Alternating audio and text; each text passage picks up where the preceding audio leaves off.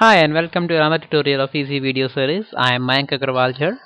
In this tutorial I will show you how to convert your Office 2003 documents to Office 07 or 10 documents with a single click, a step-by-step -step tutorial.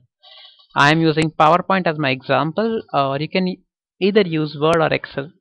The same thing applies. Okay. For example, I have a presentation called security. Okay, if you see it closely, it is a 97 2003 that implies a .ppt file. And it is around 3 MB okay?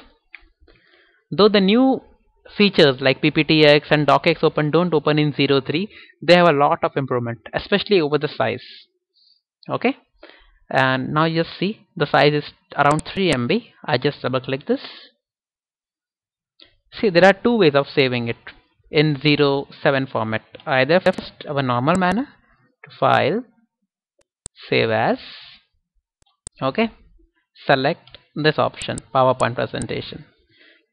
So just I will write it in 2007 format. Okay so we go and see there. You just see the size difference. It is around 3 MB it is 600 KB that saves a lot of space when you actually mail your programs but the problem with this method is I have now two files with the same content.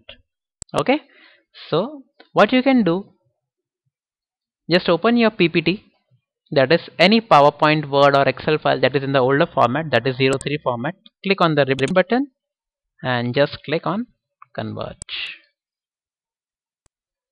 okay? It will tell this that you will be converting it to the newest format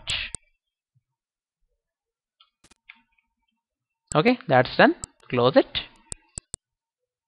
But remember one thing your original PPT document would be lost. As you see it has overwritten the document. Just take care of this. In case you wish you are going somewhere to deliver presentation I recommend you to keep both the formats. Okay? Because still in many places I found that they still work on Office 03 have a nice day. Please subscribe to my channel